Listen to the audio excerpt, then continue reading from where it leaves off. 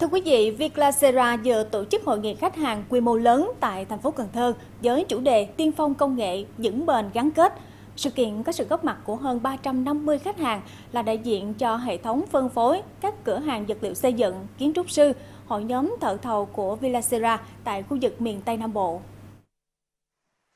Đây là dịp để thương hiệu gắn kết hơn với khách hàng, cũng như nâng cao mục tiêu trọng điểm tại thị trường miền Tây trong chiến lược dài hạn của Villacera. Cũng trong sự kiện này, Bộ phận Nghiên cứu Phát triển Sản phẩm đã giới thiệu các công nghệ lõi trong ngành thiết bị vệ sinh cùng các thiết kế mang tính độc đáo, đề cao công thái học như công nghệ men nano titan AG+, công nghệ xả Vortex và thiết kế bàn cầu một khối Mekong. Đây là sự khẳng định cho việc đầu tư phát triển của Villa Seda trong tương lai nhằm tạo ra sức cạnh tranh mạnh mẽ với các thương hiệu ngoại nhập khác trên thị trường, khẳng định vị thế hàng đầu trong ngành sản xuất thiết bị vệ sinh tại Việt Nam. Villacera với bề dày kinh nghiệm hơn 45 năm trong ngành vật liệu xây dựng luôn nhận được sự tin yêu của khách hàng.